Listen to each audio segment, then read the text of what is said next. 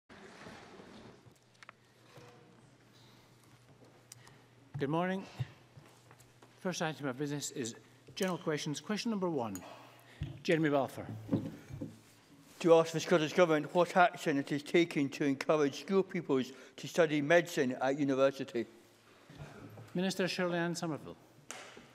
Our education system aims to provide young people with experiences and careers information, advice and guidance to raise awareness of opportunities and support informed choices. In addition, targeted schools programmes have been developed to encourage and support young people into careers in health and medicine in particular. Jeremy Balfour. Can I thank the uh, Minister for her answer? I should declare an interest as I have uh, a number of family members who are studying medicine at the moment and I'm sure we would all agree that the training we get at university is very good but figures recently published by UCAS, UCAS showed a decline in Scottish studies students applying for the October deadline required by medical courses. Most worrying, the figure has dropped by 11% since 2013. Given the GP crisis in all parts of Scotland, and particularly here in Edinburgh and the Lothians, surely it is concerning that there's going to be less Scottish medical graduates in the future. Minister. Well, the setting of medical student places is based on workforce planning needs of NHS Scotland. And while the Scottish Government sets the annual intake into medicine, the selection and recruitment of individual students admitted to study medicine is a matter for individual universities. And as a result, the exact number of domiciled Scottish students varies slightly from year to year. The evidence suggests that Scots domiciled students are more likely to stay and work in NHS Scotland and for that reason we are taking measures to increase the number of Scots domiciled students. We have increased undergraduate medical school places by 50 from this year, with these places focusing on widening access criteria. The ScotGem Graduate Medical School will add another 40 places from 2018, and we will have a focus on general practice and rurality within that. Question number two, Neil Bibby to ask the Scottish Government what recent discussions it's had with NHS Greater Glasgow and Clyde regarding plans uh, to close the children's ward at the Royal Alexandra Hospital and the birthing unit at Inverclyde Royal Hospital. Cabinet Secretary Shona Robson.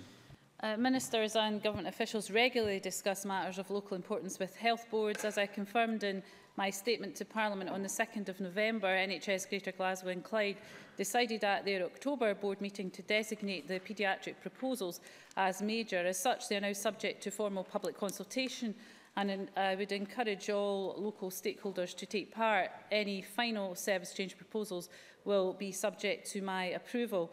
The proposals affecting births at the Inverclyde Royal Hospital and the Vale of Leven Hospital are currently subject to public engagement, which is due to end in early December. The Scottish Health Council continues to monitor this activity and will ultimately offer a view on whether the proposals are major. I'll consider this alongside the Board's views and make a final decision on designation. This will inform the Board's consideration of next steps at its meeting on the 20th of December. Neil Bibby.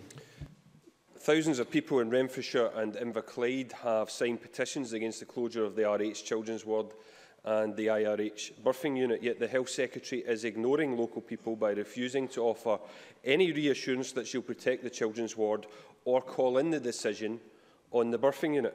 Shona Robinson needs to stop hiding in Edinburgh and start listening in Renfrewshire and Inverclyde. I've asked the Health Secretary before, and I'll ask her again on behalf of the many concerned families, will you visit Renfrewshire and Inverclyde to listen to the public's views on the future of their local NHS services? Cabinet Secretary. Uh, well, Neil Bibby, of course, uh, asked that uh, I should make the, the final determination on the RAH paediatric uh, service proposal changes. And of course, I have said I will do that. So because I've said I'll do that and uh, he's now moved on to ask me the same about the Inverclyde Royal Hospital and I would say the same to him as I said in my initial answer. That is, those are not formal proposals that have been designated uh, as either major or not as yet. So the process should be allowed to continue as it was for the RAH.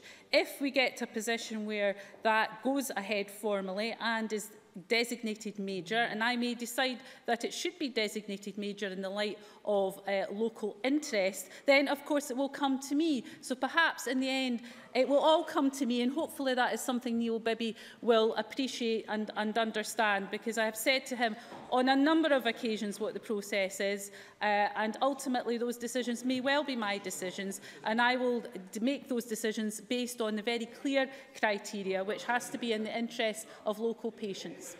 Stuart McMillan. Thank you, Presiding Officer. Does Cabinet Secretary like me find it strange that the local Labour Party in Scotland, which is always talking about local decision-making, Uh, but I actually want the decision on the IRH and also the Vela leaving to be made at national level as compared to the NHS Greater Glasgow and Clyde level, which, as uh, the Cabinet Secretary were aware, has seven Labour councillors on the board, the only political representatives on that particular health board. Cabinet Secretary. The actions of the Labour Party are often strange, which is probably why they're sitting in third place in this uh, chamber. But as I've said repeatedly in this chamber, there is a well-established process which we will continue to follow. Uh, I'm not going to prejudge proposals that are currently subject to public engagement and consultation that might not even emerge as formal proposals uh, and may well change. That is the right way to proceed. Uh, members in this chamber well understand that process and that is the process we'll follow. Annie Wells. Thank you. To ask the Scottish Government how it will ensure all proposed service changes contribute to the Scottish Government's commitment to shift the balance of care away from acute hospitals and into primary care. Cabinet Secretary. Well, as the, the member will be aware, uh, the First Minister made a, a very important announcement around the funding of primary care, and that is a £500 million investment over the course of this Parliament into primary care. That will accelerate a shift in the balance of care from acute. What I would ask members of this Parliament to appreciate is that things cannot stay the same. Now, that doesn't mean that every service change proposal that comes forward is the right one, and that has to be tested very firmly in the light of what is best for patients. But I think for anyone in this chamber to stand against any change in acute services anywhere will get in the way of that important shift in the balance of care. I hope that's not something that any member of this parliament would do. Jackie Bailey. The Cabinet Secretary will of course be aware that only seven members of the Health Board are Labour councillors. The other 20 or so are appointed by herself. Um, so I think that was a nonsense argument, frankly, from Stuart Macmillan. But the Cabinet Secretary has been invited to my area to discuss proposals to close the Vale of Leven maternity unit, but she has refused.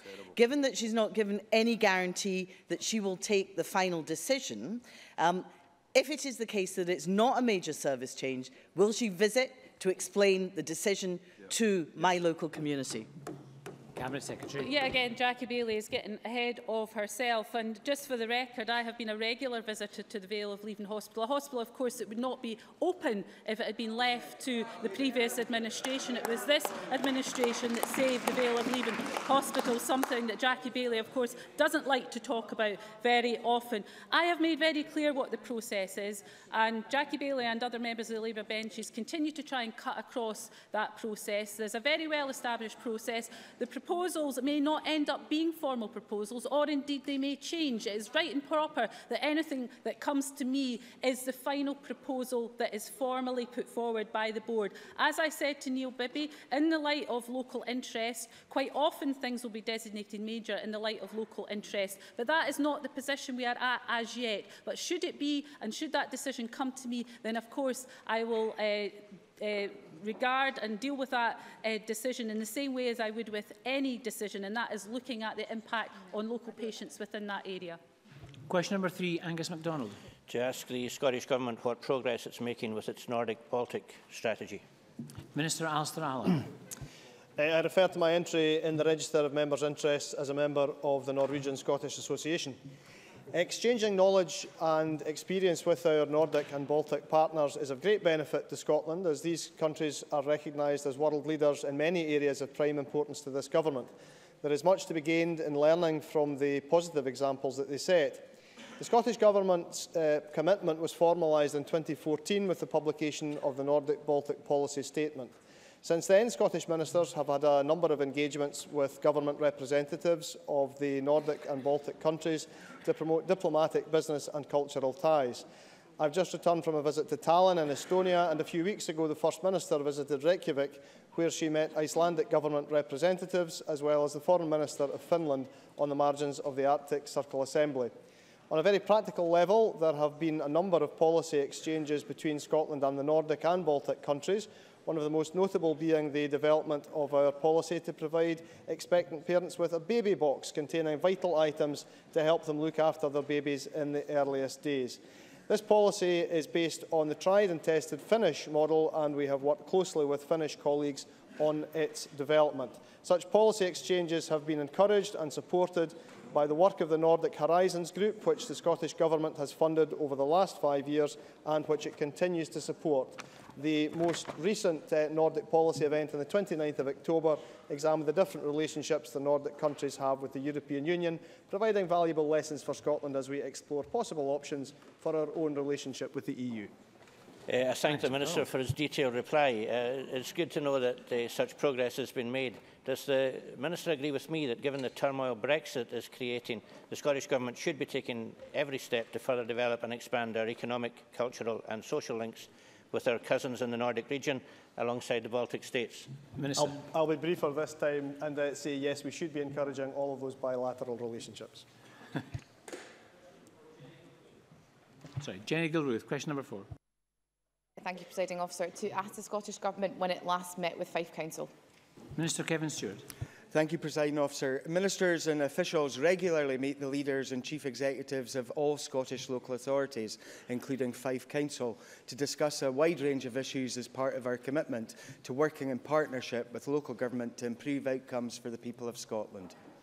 Jenny Gilruth. I thank the Minister for that response. I was recently contacted by a number of constituents who work as adult social care workers for Fife Council. The company Fife Council contract this work out to Real Life Options wrote to all its employees nationally last month. They claim that, despite a number of requests to local authorities, we have not yet received confirmation that any additional funding will be provided to support the implementation of the new Scottish Living Wage.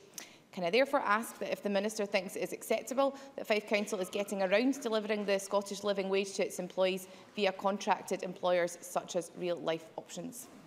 Minister. Um, the Scottish Government is absolutely committed to see all adult care workers paid the living wage from October the 1st, 2016. Uh, and we have provided significant investment to meet that commitment. We provided an extra 250 million pounds this year to support the integration of health and social care, of which five health and social care par partnership were allocated 16.83 million. Pounds. Of that uh, spend, 8.42 million was available to support additional spend on expanding social care to support the objectives of integration. The other 8.42 million was provided to help meet a range of costs faced by the local authorities in the delivery of effective and high quality health and social care and to enable the living wage to be paid to care workers supporting adults in the independent and third sector. That commitment allows councils to commission adult social care on the basis that care workers are paid the real living wage, giving up to 40,000 people, mainly women, doing some of the most valuable work in Scotland a very well-deserved pay rise. Mm-hmm. We have been working closely with health and social care partnerships and providers to make delivery of this commitment successful. Where this does not happen, as in the case of Fife here it seems, Pay will be backdated to October the 1st, and that should be done within a reasonable time frame. Alec Rowley. Thank you, President Officer. I spoke to the leader of Fife 5 Council this morning, and he tells me that despite repeated requests to meet with the Education Secretary, the Council is finding it difficult to get even a response. Would the, would the, would the Minister use his good offices to urge Mr Swinney to respond to Fife Council? They want to discuss issues of education. Will he use his office to ensure that they respond and that they can get a meeting? Minister. Well, all I can say is I met the leader of Fife Council recently in Kelty, and that certainly wasn't raised with me. Uh, I met the deputy leader of Fife Council only yesterday in Kirkcaldy at the Scot Scottish Times Partnership meeting. Again, that was not raised with me. Um, so there are multi multiple opportunities for the leaders of Fife Council to engage with ministers. It seems strange to me that none of these subjects have been raised when I've met with them. Yeah. Question number five, Alexander Stewart. Thank you, Presiding Officer. To ask the Scottish Government what action it is taking to address the reported 42.7 million funding gap in the Scottish Fire and Rescue Service. Minister Bill Ewing. The challenge of bringing together eight legacy fire services represented one of the biggest public sector reforms in a generation. Audit Scotland confirmed that the fire reform process had been a success. The Scottish Fire and Rescue Service revenue budget for 2016-17 was protected in cash terms, and that protection supports the range of excellent work that the Scottish Fire and Rescue Service continues to undertake to protect our communities. Audit Scotland also confirmed that the reform process had no adverse effect on the public and reported savings to the public purse to date puts the, uh, the service on track to exceed expected savings of 328 million to the public purse by 2027-2028. Alexander Stewart. I thank the Minister for her response. We were told that the move to a single fire and rescue service would protect frontline outcomes. But year on year, we have seen an erosion of these outcomes. Here, here. Surely it will be the public who will pay the price for these enforced centralisation. Minister.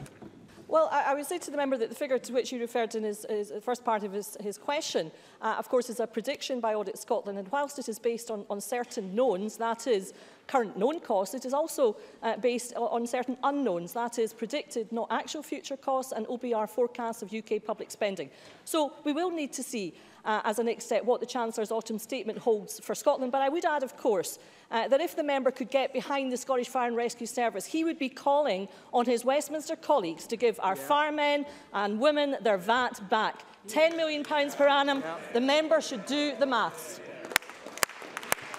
Question number, question number six, Polly McNeill. Presiding officer, to ask the Scottish Government what action it takes to tackle any age discrimination against 17 and 18-year-olds. Cabinet Secretary John Swinney. Presiding officer, overarching responsibility for legislation on equal opportunities is reserved to the United Kingdom Government. The Equality Act 2010 provides the legal framework to protect individuals aged 18 and over in the UK from discrimination because of age by those providing services or exercising public functions these provisions do not apply to children and young people aged 17 or younger. Uh, within our devolved powers, the Scottish Government works with other public authorities to eliminate all forms of unlawful discrimination, advance equality of opportunity and to foster good relations. Pauline McNeill. I thank the Cabinet Secretary for that answer. He will be aware that under 18-year-olds national minimum wage is £4 and £3.40. And in fact, if you're at school, you may have no earnings at all. I wonder if he agrees with me that it isn't really fair that 16 and 17 year olds pay adult fares and public transport when they reach their 16th birthday. I wonder if he would consider supporting me in my campaign to extend child fares to age 18 and would he consider the possibility that something like putting into a future ScotRail contract uh, would be an important step for many 16 and 17-year-olds to have that flexibility of independence. Cabinet Secretary. Yeah, uh, I certainly think that the issues that Polly McNeill raises are uh, valid issues to be considered. Um, the, uh, obviously, there are different provisions in Scotland in relation to supportive young people in terms of the availability of education maintenance allowances, for example, which are an important contribution for young people in the age group that she has raised. Um, but I'm sure that uh, Transport Ministers will have heard her point in relation to the ScotRail contract and to the issue of uh, classification for fares. Of course, there are legitimate issues with which Parliament will be familiar of the different thresholds at which um, uh, different age considerations apply um, and uh, ministers will certainly reflect on the issues that have been raised by Paul McNeill. Question number seven, John Lamont. Uh, thank you, Presiding Officer. Um, to ask the Scottish Government when ministers last met representatives of NHS borders and what issues were discussed. Cabinet Secretary Shona Robson. Scottish ministers and officials meet regularly with NHS borders to discuss matters of interest to the people of the borders. John Lamond. Um, I thank the Cabinet Secretary for that answer. The Cabinet Secretary will be aware of the recent Audit Scotland report and the worrying conclusion that NHS Borders was the least likely to balance its books this year, with 55% of planned savings classified as high risk. She will also be aware that the same report noted that NHS Borders had the largest increase on internal bank nurses and midwives and was spending twice as much as the previous year on external agency staff. Can I ask the Cabinet Secretary what specifically the Scottish Government is doing to support NHS Borders and the staff through these challenges? Well, in 2016-17, NHS Borders resource budget has increased by 5.3% to £193.9 million. Pounds. The um, NHS Borders uplift, of course, includes £5.3 million for investment in social care as part of the integration of health and social care. I should point out also that NHS Borders funding for 2016-17 is over £4 million above its NRAC target share. However, within that we understand the pressures that uh, with uh, growing demand for services and what that brings. In terms of the agency staff question that the member raises, that of course is a, a key element of the national programme of work that is underway to reduce agency spend. Part of that is about helping boards to uh, recruit to substantive posts posts where that makes sense, but also to look at other options uh, to reduce that. I'm very happy to, to write to the member with more details specifically of what borders are doing to reduce their agency spend as part of that programme. Thank you. And before we move to the next item of business, members may wish to join me in welcoming to the gallery Mr Asad Kaisar, MPA, Speaker of the Pakistan Provincial Assembly of Khyber Pakhtunkhwa.